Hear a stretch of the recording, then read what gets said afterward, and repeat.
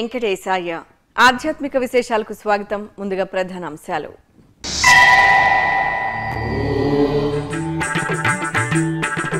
శ్రీవారి బ్రహ్మోత్సవాల నిర్వహణకు ఘనంగా ఏర్పాట్లు. డైల్ యువర్ ఈవోలో అనిల్ కుమార్ సింఘాల్ వెల్లడి.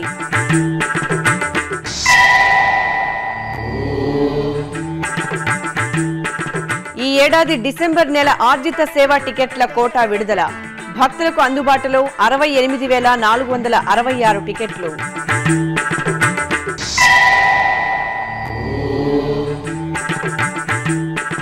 శ్రీవారి భక్తులకు అంకిత భావంతో సేవలు. శ్రీవారి సేవకులకు అవగాహన సదస్సు తిరుమల ప్రత్యేక అధికారి సూచనలు.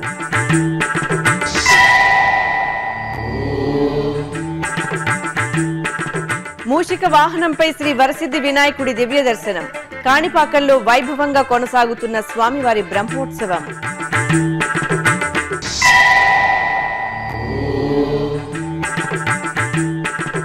కలియుగ ప్రత్యక్ష దైవంగా వెంకటాచలంపై వెంకటేశ్వరుడి అనుగ్రహం.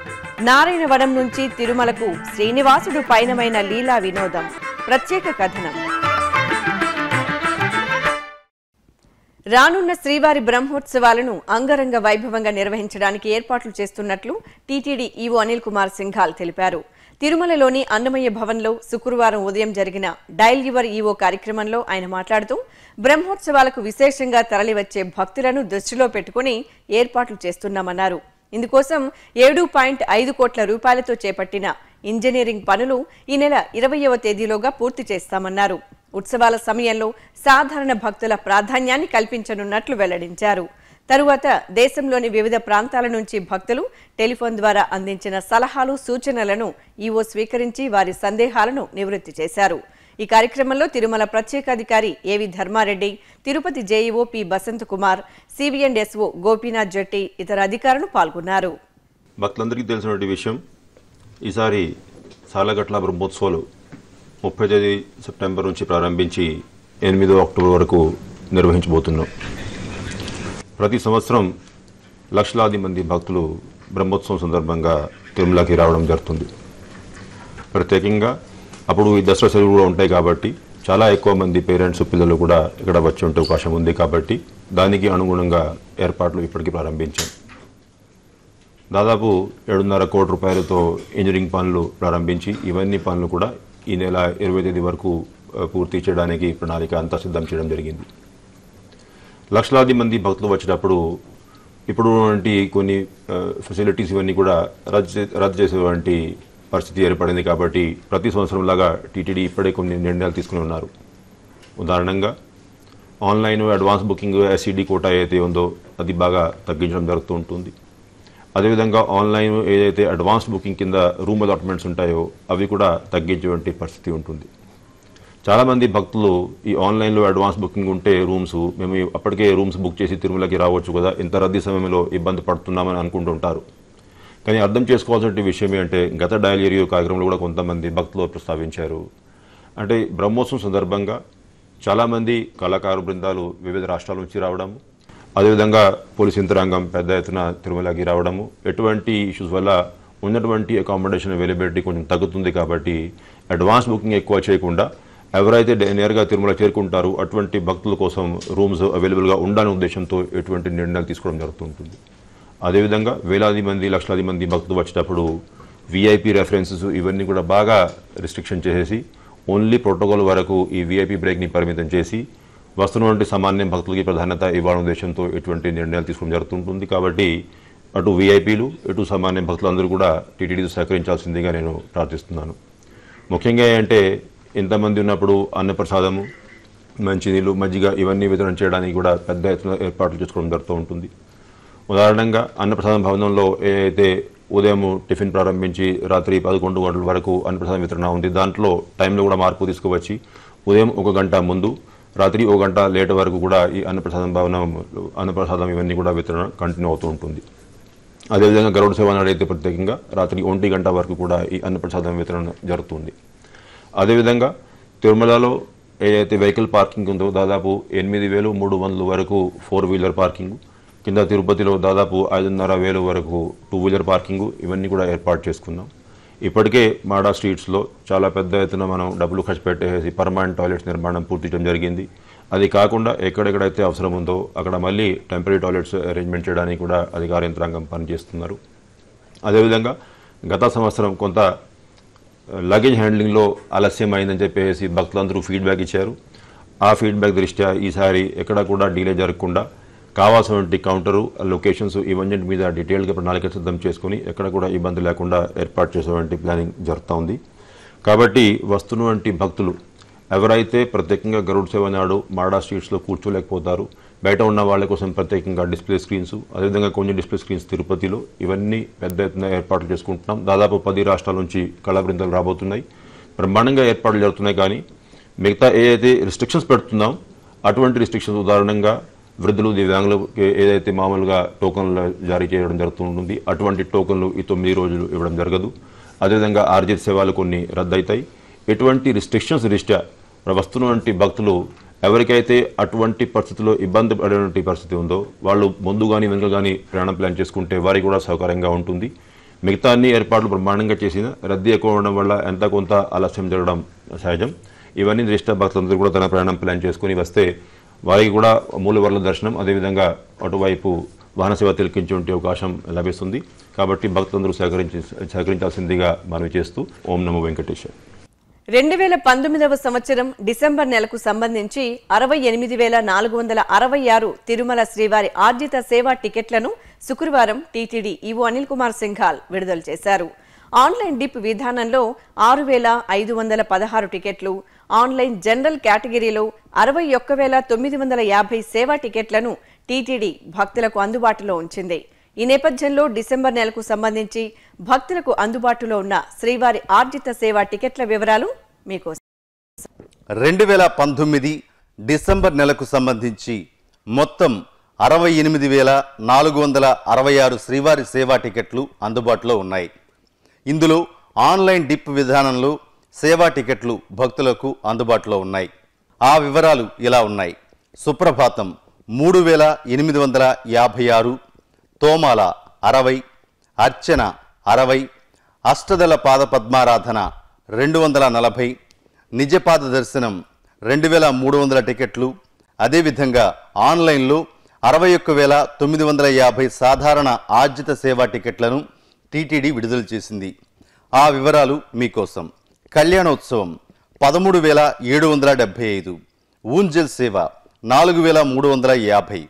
ఆర్జిత బ్రహ్మోత్సవం ఏడు వేల తొమ్మిది వందల డెబ్బై ఐదు. వసంతోత్సవం పదిహేను వేల తొమ్మిది వందల యాభై. సహస్ర దీపాలంకార సేవ పదిహేడు వేల నాలుగు వందల టికెట్లు అందుబాటులో ఉన్నాయి. భక్తులు ఈ సేవా టికెట్లను వినియోగించుకుని శ్రీవారి కృపకు పాత్రులు కావాల్సిందిగా టీటీడీ విజ్ఞప్తి చేస్తోంది. మానవ సేవే మాధవ సేవగా భావించి శ్రీవారి సేవకులు భక్తులకు సేవలు అందించాలని తిరుమల ప్రత్యేక అధికారి ఏవి ధర్మారెడ్డి కోరారు. తిరుమలలోని శ్రీవారి సేవా భవన్ సముదాయాలను ప్రత్యేక అధికారి పరిశీలించారు. ఈ సందర్భంగా ధర్మారెడ్డి మాట్లాడుతూ శ్రీవారి సేవకులు టీటీడీలోని అన్ని విభాగాల్లో చక్కని సేవలు అందిస్తున్నారన్నారు. ఎంతో మహిమాన్వితమైన తిరుమల దివ్యక్షేత్రంలో సేవలందించడం పూర్వజన్మ సుకృతమన్నారు. అనంతరం TTD PRO doctor T Ravi Kumar మాట్లాడుతూ శ్రీవారి భక్తులకు మరింత మెరుగైన సేవలందించే లక్ష్యంతో రెండు వేల సంవత్సరంలో నూట తొంభై ఐదు మంది సేవకులతో శ్రీవారి సేవను ప్రారంభించినట్లు తెలిపారు. ఆ తరువాత ప్రత్యేక అధికారి శ్రీవారి సేవా భవన్ సముదాయంలో పెండింగ్ పనులను అడిగి తెలుసుకున్నారు. శ్రీవారి సేవకులకు టీటీడీ కల్పిస్తున్న సౌకర్యాలను ఆయన పరిశీలించారు. ఈ కార్యక్రమంలో టీటీడీలోని వివిధ శాఖల అధికారులు పాల్గొన్నారు. శ్రీవారి బ్రహ్మోత్సవాలకు విచ్చేసే భక్తులు సంతోషకరంగా స్వామివారిని దర్శించుకునేలా పటిష్టమైన భద్రతా ఏర్పాట్లు చేస్తున్నట్లు TTD CV and SO Gopinath Jetti తెలిపారు. గురువారం తిరుమలలో ఆయన తిరుపతి అర్బన్ ఎస్పీ అన్బురాజన్తో కలిసి వివిధ ప్రాంతాల్లో భద్రతా ఏర్పాట్లను పరిశీలించారు. శ్రీవారి ఆలయ నాలుగు మాడ వీధులను పరిశీలించి భద్రతా ఏర్పాట్లు వాహన సేవలు భక్తులందరూ వీక్షించేలా తీసుకోవాల్సిన చర్యలపై చర్చించారు. ఈ సందర్భంగా సిబిఎండ్ఎస్ఓ మీడియాతో మాట్లాడుతూ రానున్న బ్రహ్మోత్సవాల్లో టీటీడీ నిఘా భద్రతా విభాగం పోలీసు యంత్రాంగం సహకార సమన్వయంతో ఏర్పాట్లు చేస్తున్నామని వెల్లడించారు. ఓం నమో వెంకటేశాయ. ప్రతి సంవత్సరం లాగే స్వామివారి సాలకట్ల బ్రహ్మోత్సవాలను పురస్కరించుకొని అర్బన్ ఎస్పీ గారు వారి యొక్క అధికారులు సిబ్బంది అదేవిధంగా టీటీడీ విజిలెన్స్ అండ్ సెక్యూరిటీ విభాగం తరఫున జాయింట్ ఇన్స్పెక్షన్ ఎక్కడైతే ఈ బ్రహ్మోత్సవాలకు సంబంధించినటువంటి ప్రాంతాలు ఉంటాయో మనకి ఇక్కడ రామ్ బగీచా నుంచి స్టార్ట్ చేసి వాహన మండపం అదేవిధంగా మాడా స్ట్రీట్స్ గ్యాలరీస్ ఇక్కడ తీసుకోవాల్సినటువంటి జాగ్రత్తలు భక్తుల భద్రత దృష్ట్యా మనం పోలీస్ తరఫున కానీ విజిలెన్స్ తరఫున తీసుకోవాల్సినటువంటి అన్ని రకాలైనటువంటి జాగ్రత్తల గురించి కూలంకషంగా చర్చించి ఇంకేమైనా చిన్న చిన్న మార్పులు కానీ లేకపోతే ఇంకేమైనా ఏర్పాట్లు చేయవలసి ఉంటే వాటన్నిటి మీద ఇంజనీరింగ్ డిపార్ట్మెంట్ వారికి అదేవిధంగా విజిలెన్స్ శాఖ వారికి కూడా ఆ, ఆదేశాలు ఇవ్వడం జరిగింది. దాంతోపాటు మనకి ఈ నెల ముప్పై తారీఖు నుంచి జరగబోయేటువంటి బ్రహ్మోత్సవాల్లో మొదటి రోజున గౌరవ ముఖ్యమంత్రి గారు స్వామివారికి వస్త్రాలు సమర్పిస్తారు కాబట్టి ఆ రోజు వారి పర్యటనకు సంబంధించి కూడా ఈరోజు ప్రిలిమినరీగా ఏమైతే ఏర్పాట్లు చేయాలో వాటికి బ్యారికేడింగ్ సంబంధించి కానీ అవన్నీ కూడా చూడడం జరిగింది. బ్రహ్మోత్సవాల టైంలో వచ్చేటువంటి భక్తులకి పార్కింగ్ దృష్ట్యా వారికి ట్రాఫిక్ మేనేజ్మెంట్ దృష్ట్యా కానీ ఎలాంటి ఇబ్బందులు కలగకుండా ఉండడం కోసం అని చెప్పి ఆ ప్రాంతాలన్నీ కూడా చూసి ఎక్కడెక్కడైతే పార్కింగ్ స్థలాలు ఉన్నాయో అక్కడ పార్కింగ్ ఏర్పాట్లు కూడా చేయడం జరుగుతుంది. భక్తులకి క్షుణ్ణంగా తెలిసేటువంటి విధంగా ఈ signages boards direction boards caution boards signages అన్నీ కూడా ఏర్పాటు చేస్తాము. ఇంకా రాబోయే రోజుల్లో ఇంకా మనకి ట్వంటీ ఫైవ్ డేస్ దాకా టైం ఉంది కాబట్టి ఆ ప్రతి పాయింట్ని కూడా క్షుణ్ణంగా తనిఖీ చేసి ఇంకా పరిస్థితులు మెరుగుపరిచి భక్తులు ప్రశాంతంగా వచ్చి స్వామివారి ఉత్సవాల్లో పాల్గొని బ్రహ్మోత్సవాల్లో స్వామివారిని దర్శనం చేసుకొని ప్రశాంతంగా వెళ్ళేదానికి అన్ని రకాల ఏర్పాటు చేస్తాం. తిరుపతి అర్బన్ ఎస్పీ అన్బురాజన్ మాట్లాడుతూ బ్రహ్మోత్సవాలకు విచ్చేసే భక్త కోటికి ఎటువంటి ఇబ్బందులు రాకుండా భద్రతా చర్యలు చేపడతామని వివరించారు. విజిలెన్స్ విజిలెన్స్ వింగ్ తోటి జాయింట్ ఇన్స్పెక్షన్ చేయడం జరిగింది. కొన్ని సూచనలు సార్ వాళ్ళు కూడా ఇచ్చి ఇవ్వడం జరిగింది. దాని మేరకు బందోబస్తు స్కీమ్ ఇవన్నీ కూడా అరేంజ్ చేసుకుంటున్నాము. ట్రాఫిక్ వరకు కూడా అన్ని జాగ్రత్తలు తీసుకుంటున్నాము. క్రైమ్ ప్రకారం కూడా జాగ్రత్తలు తీసుకుంటున్నాము. చిత్తూరు జిల్లా కాణిపాకం శ్రీ వరసిద్ధి వినాయక స్వామివారి ఆలయంలో వార్షిక బ్రహ్మోత్సవాలు అంగరంగ వైభవంగా జరుగుతున్నాయి. ఈ ఉత్సవాల్లో భాగంగా స్వామివారికి మూషిక వాహన సేవ వేడుకగా జరిగింది. ఈ సందర్భంగా మూలవర్లకు ప్రత్యేక అభిషేకాలు నిర్వహించి పూజలు జరిపారు. తరువాత ఉత్సవమూర్తులను అలంకార మండపంలో కొలువదీర్చి పుష్పశోభితంగా అలంకరించి ధూపదీప నైవేద్యాలు సమర్పించారు. అనంతరం ప్రత్యేకంగా అలంకరించిన మూషిక వాహనంపై స్వామివారిని కొలువుదీర్చి మంగళ వాయిద్యాల నడుమ గ్రామోత్సవాన్ని కనుల పండుగ నిర్వహించారు. భక్తులు ఏకదంతుణ్ణి కనులారా దర్శించుకొని కర్పూర హారతలు సమర్పించారు. అడుగడుగు దండాలవాడు ఆపద మొక్కులవాడు తిరుమల శ్రీవారు సప్తగిరులపై వేంచేసి నిత్యపూజలు అందుకుంటున్నారు. భక్తితో నమస్కరిస్తే ఆర్తిగా ఆశీస్సులు అందజేసే శ్రీ వెంకటేశ్వరుడి కరుణా కటాక్ష వీక్షణాలు పొందడానికి భక్తులు పరితపిస్తుంటారు. మరి ఆ స్వామివారి దివ్యలీల విశేషాలను తెలుసుకోవాలని ఎవరికుండదు? వెంకటాచలంపై వెలిసిన శ్రీనివాసుడు పద్మావతి దేవిని పరిణయమాడిన శుభ సందర్భంలో ఏ ఏ ప్రదేశాల్లో విహరించారు? ఆ ప్రాంతాలకు ఉన్న ప్రాశస్త్యం ఏంటి? ఇత్యాది విశేషాలను మీకందిస్తోంది మీ శ్రీ వెంకటేశ్వర భక్తి ఛానల్. కలియుగ ప్రత్యక్ష దైవం శ్రీ వెంకటేశ్వరునితో ప్రత్యక్ష అనుబంధం కలిగిన ప్రదేశాలు ఏవి? పద్మావతి అమ్మవారు పుట్టిన ప్రాంతం ఏంటి? శ్రీనివాసుడు పద్మావతి అమ్మవారిని తొలిసారిగా ఎక్కడ చూశారు? పద్మావతి శ్రీనివాసుల పరిణయోత్సవం జరిగిన పుణ్య ప్రదేశం ఏంటి? స్వామి అమ్మవార్ల వివాహానికి ముల్లోకవాసులు విచ్చేసిన పవిత్ర ప్రాంతం ఏది? వివాహం అనంతరం స్వామి అమ్మవార్లు ఏ ఏ ప్రదేశాలను సందర్శించారు? అగస్త్య మహర్షి ఆశ్రమాన్ని సందర్శించిన పద్మావతి శ్రీనివాసులకు ఆ మహర్షి చేసిన సూచన ఏంటి? కొండ కింద ఆరు నెలల పాటు ఆవాసమున్న ప్రాంతం ఏది? స్వామివారు కళ్యాణ వెంకటేశ్వరుడిగా ఎక్కడ వెలిశారు? కళ్యాణ వెంకటేశ్వర స్వామి భక్తులకు ఒసగిన రెండు వరాలు ఏంటి? స్వామి అమ్మవార్లు తిరుమలకు ఎలా చేరుకున్నారు? తిరుమలకు వెళ్ళే మార్గమధ్యంలో స్వామివారు ఎక్కడెక్కడ కొలువై పూజలందుకుంటున్నారు? తదితర వివరాలను తెలుసుకోవాలని ప్రతి భక్తుడికి ఎంతో ఆసక్తిగా ఉంటుంది కదా?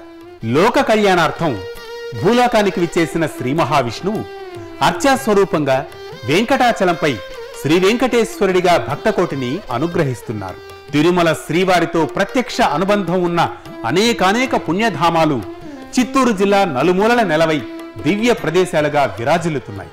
కలియుగ ప్రత్యక్ష దైవం శ్రీ వెంకటేశ్వర స్వామివారు అర్చాస్వరూపంగా అనుగ్రహిస్తున్న తిరుమల క్షేత్రం భక్తకోటి ఆరాధ్య నిలయంగా భాసిల్లుతోంది.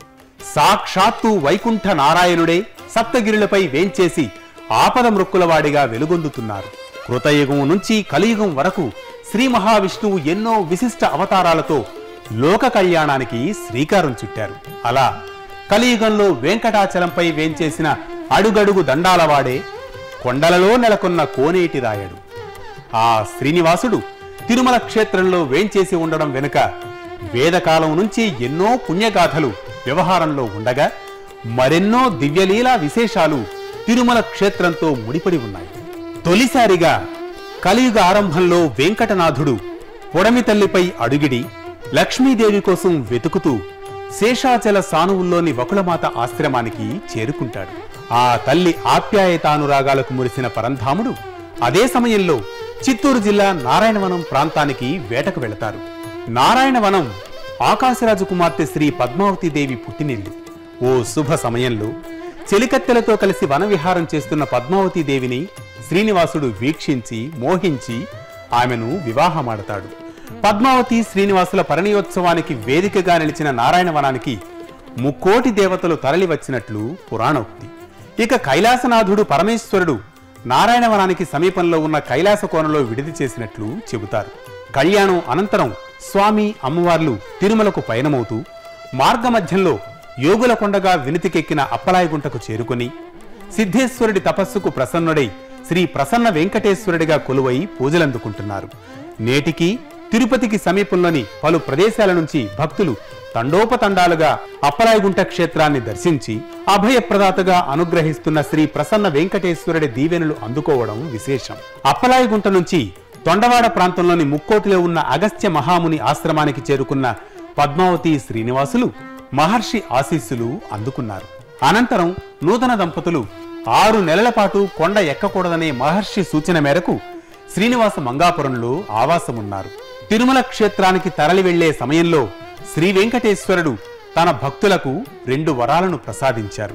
శ్రీనివాస మంగాపురంలో శ్రీ కళ్యాణ వెంకటేశ్వర స్వామిగా కొలువైన తనను సేవించిన భక్తులకు వివాహయోగం లభించడమే కాకుండా ఏడు కొండలు ఎక్కి తన దగ్గరకు రాలేని వారు శ్రీనివాస మంగాపురంలో శ్రీ కళ్యాణ వెంకటేశ్వర స్వామి వారిని దర్శించుకుంటే తిరుమల యాత్ర చేసిన ఫలం సిద్ధిస్తుందని అభయమొసగారు. అనంతరం శ్రీ పద్మావతి శ్రీనివాసులు శ్రీవారి మెట్టు మార్గం గుండా తిరుమలకు చేరుకున్నట్లు ఐతిహ్యం. ఇలా శ్రీ వెంకటేశ్వర స్వామివారితో ప్రత్యక్ష అనుబంధం ఉన్న పుణ్య ప్రదేశాలు నేడు తిరుమల యాత్ర సందర్శనకు వస్తున్న భక్తులకు అనంత కోటి వరాలను ప్రసాదించే దివ్య ధామాలుగా వెలుగొందుతున్నాయి. విజయవాడ ఇంద్రకీలాద్రిపై కొలువైన శ్రీ దుర్గా మల్లేశ్వర స్వామివారి దేవస్థానంలో దసరా ఉత్సవాల ఏర్పాట్లకు శ్రీకారం చుట్టారు. ఆలయంలో తొమ్మిది రోజుల పాటు అంగరంగ వైభవంగా జరిగే ఈ ఉత్సవాలకు పెద్ద సంఖ్యలో భక్తులు తరలివచ్చి అమ్మవారిని దర్శించుకుంటారు. భక్తులకు ఎటువంటి ఇబ్బంది లేకుండా అమ్మవారిని దర్శించుకునేందుకు తగిన ఏర్పాట్లను చేపట్టారు. ఇందులో భాగంగా కెనాల్ రోడ్డులోని సిద్ధి వినాయకుని ఆలయం వద్ద క్యూ లైన్లను ఏర్పాటు చేసే కార్యక్రమానికి పూజలు నిర్వహించి పనులు ప్రారంభించారు. విఘ్నేశ్వర పూజ భూ పూజలను ఆలయ అర్చకులు శాస్త్రోక్తంగా నిర్వహించారు. తెలంగాణ రాష్ట్రం కొత్తగూడెంలోని శ్రీ విజయ విఘ్నేశ్వర స్వామివారి దేవస్థానంలో గణేష్ నవరాత్రి ఉత్సవాలు అంగరంగ వైభవంగా జరుగుతున్నాయి. ఈ ఉత్సవాల్లో భాగంగా శ్రీ వల్లభ లక్ష్మీ గణపతి స్వామివారి కళ్యాణ మహోత్సవం కనుల పండుగ జరిగింది. ఆలయ ప్రాంగణంలో ప్రత్యేకంగా ఏర్పాటు చేసిన వేదికపై స్వామి అమ్మవార్లను కొలువుదీర్చి వేద మంత్రాలు మంగళ వాయిద్యాల నడుమ స్వామివారి కళ్యాణాన్ని శాస్త్రోక్తంగా పూర్తి చేశారు. భక్తులు ఈ ఉత్సవంలో పాల్గొని శ్రీ వల్లభ లక్ష్మీ గణపతి స్వామివారి కళ్యాణాన్ని కనులారా తిలకించి తన్మయులయ్యారు. ప్రముఖ పుణ్యక్షేత్రం యాదాద్రి శ్రీ లక్ష్మీ నరసింహస్వామివారి దేవాలయ పునర్నిర్మాణ పనులు పూర్తి కావచ్చాయి. ప్రధాన ఆలయ పునఃప్రారంభ సమయం సమీపిస్తుండటంతో పనులను వేగవంతం చేశారు. ఈ నేపథ్యంలో ప్రధాన ఆలయ రాజగోపురంకు బిగించే తలుపులు యాదాద్రికి చేరుకున్నాయి. తలుపులతో యాదాద్రి చేరుకున్న రెండు వాహనాలకు అధికారులు భక్తులు ఘన స్వాగతం పలికారు. డప్పు వాయిద్యాలు మహిళల కోలాటాలు వేద మంత్రోచ్చారణల నడుమ వాహనాలకు స్వాగతం పలికి పూజలు నిర్వహించారు. ఇప్పటికే పూర్తయిన ఏడు రాజగోపురాలకు త్వరలో ఈ తలుపులను బిగించనున్నారు. అనంతపురం జిల్లా బుక్కరాయి సముద్రంలో కొలువైన నిమిషాంబాదేవి అమ్మవారి ఆలయం ఆధ్వర్యంలో వినాయక చతుర్థి ఉత్సవాలు కనుల పండుగ జరుగుతున్నాయి. ఇందులో భాగంగా గణపతి హోమాన్ని వైభవంగా నిర్వహించారు. ఈ సందర్భంగా ప్రతిష్ఠించిన గణనాథునికి వేకువజాముని ధూపదీప నివేదనలు అందజేశారు. ప్రత్యేక పూజలు నిర్వహించి దర్శన భాగ్యం కల్పించారు. తరువాత గణపతి హోమాన్ని శాస్త్రోక్తంగా నిర్వహించి పూర్ణాహుతి సమర్పించారు. ప్రసిద్ధ పుణ్యక్షేత్రమైన బాసరలో గణనాథుని నవరాత్రి ఉత్సవాలు ఘనంగా జరుగుతున్నాయి. గణేష్ మండపాల్లో కొలువుదీరిన వినాయకుడికి వేద మంత్రోచ్చారణల నడుమ భక్తులు ప్రత్యేక పూజలు నిర్వహించారు. భక్తులు సహస్ర దీపారాధనలు జరిపి పార్వతీ తనయుని దర్శించుకుని ఆశీస్సులు అందుకున్నారు. కడప నగరంలోని శ్రీ రాజరాజేశ్వరీదేవి ఆలయంలో అమ్మవారికి విశేష అభిషేకాలు నిర్వహించారు. ఈ సందర్భంగా అమ్మవారి మూలమూర్తిని పాలు పెరుగు తేనె కొబ్బరి నీరు పసుపు గంధం తదితర ద్రవ్యాలతో అభిషేకించారు. తరువాత అమ్మవారిని పరిమళ భరిత పుష్పాలు విశేష ఆభరణాలతో శోభాయమానంగా అలంకరించారు. అలాగే శ్రీచక్రానికి అభిషేకాలు జరిపి కుంకుమార్చనలు చేశారు. భక్తులు ఈ విశేష క్రతువుల్లో పాల్గొని అమ్మవారిని శ్రద్ధ భక్తులతో సేవించారు. శ్రీ గణనాథుని నవరాత్రి ఉత్సవాలతో పలు ఆలయాలు ఆధ్యాత్మిక వాతావరణంతో అలరారుతున్నాయి. ఈ ఉత్సవాల్లో భాగంగా ఏకదంతునికి ప్రత్యేక పూజలు లోక కళ్యాణాన్ని కోరుతూ గణపతి హోమాలను విశేషంగా నిర్వహించారు. ఆ విశేషాల సమాహారం మీకోసం. శ్రీకాళహస్తిలో గణపతి హోమాన్ని శాస్త్రోక్తంగా నిర్వహించారు. పట్టణంలోని బేరీ మండపం వద్ద వినాయక చవితి వేడుకల్లో భాగంగా హోమాలను జరిపారు. ముందుగా గణపతి పూజ చేసి కలశ స్థాపన పుణ్యాహవాచనం కలశ పూజలు హారతులు సమర్పించారు. తర్వాత లోక కళ్యాణార్థం గణపతి హోమాన్ని ఆగమోక్తంగా నిర్వహించి మహాపూర్ణాహుతి సమర్పించారు. ఆపై గణపతిని పరిమళ భరిత పుష్పాలతో పూజలు చేసి ధూపదీప నైవేద్యాలు సమర్పించారు. కర్నూలు జిల్లా నంద్యాలలోని శ్రీ కోదండ రామాలయంలో గణపతి హోమాన్ని శాస్త్రోక్తంగా నిర్వహించారు. గణపతి నవరాత్రి ఉత్సవాల్లో భాగంగా ఆలయంలో స్వామివారికి అభిముఖంగా కలశ స్థాపన చేసి కలశ పూజ నవగ్రహ పూజ శతసహస్ర నామార్చన తదితర వైదిక క్రతువులను జరిపి గణపతి హోమాన్ని శాస్త్రోక్తంగా పూర్తి చేశారు. తర్వాత మహాపూర్ణాహుతి సమర్పించి స్వామివారికి ధూపదీప నైవేద్యాలు సమర్పించారు. భక్తులు గణనాథుని దర్శించుకొని తీర్థ ప్రసాదాలు అందజేశారు. కృష్ణా జిల్లా జగ్గాయపేటలోని శ్రీ విఘ్నేశ్వర స్వామివారి దేవాలయంలో విశేష పూజలు నిర్వహించారు. గర్భాలయంలోని గణనాథునికి వివిధ రకాల పెన్నులు పరిమళ భరిత పుష్పాలతో అలంకరించి పూజలు చేశారు. అనంతరం హారతులు సమర్పించి భక్తులకు తీర్థప్రసాదాలు అందజేశారు. భక్తులు ఏకదంతుని దర్శించుకొని ఆశీస్సులు అందుకున్నారు. ఇక వివిధ ప్రాంతాల్లో జరిగిన సాంస్కృతిక కార్యక్రమాల సమాహారాన్ని కళా నీరాజనంలో వీక్షిద్దాం.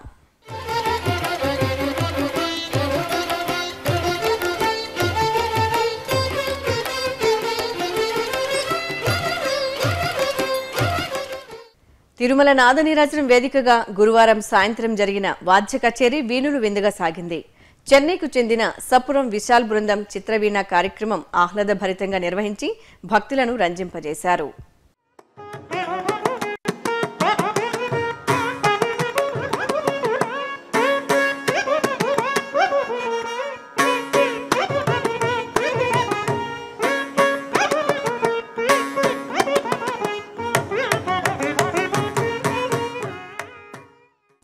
హైదరాబాద్ శంకరమఠం ఆలయంలో గణపతి నవరాత్రి ఉత్సవాలను పురస్కరించుకుని కూచిపూడి నాట్య ప్రదర్శన జరిగింది. శ్రీమతి ఓలేటి రంగమణి శిష్య బృందంచే ఆ గణనాథుణ్ణి స్తుతిస్తూ కూచిపూడి నృత్యోత్సవం జరిగింది.